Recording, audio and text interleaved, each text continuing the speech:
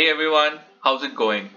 I'm going to love making this video because as a kid I used to watch Yu-Gi-Oh all the time and I used to play Yu-Gi-Oh cards with my friends like literally every day. So let's see how to make some.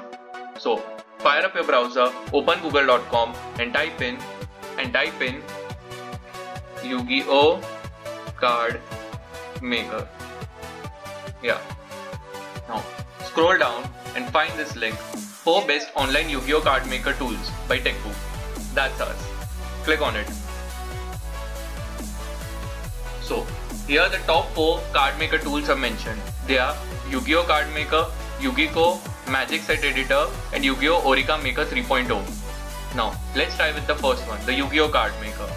Now, I'll show you how to make a card using the first one that is Yu-Gi-Oh card maker and you can try rest of the tools yourself. I will mention the link to this page in the description so you can have a look. Now let's open this one. Okay, so this looks pretty nice, right? So now let me name my card, let's say TechWhoop. Card type, I just set it to monster only for now and uh, it would be a spirit. Attribute, I like water.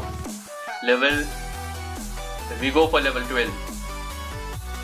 Card rarity, let's keep it ultimate rare. Well, yeah. Now I'll upload uh, something, I'll just upload our logo. Okay, so the logo has been uploaded. Now I'll just type in the type what is the type? I'll just type in cool. Description, I'll just leave it blank. Attack and defense. 100, 100.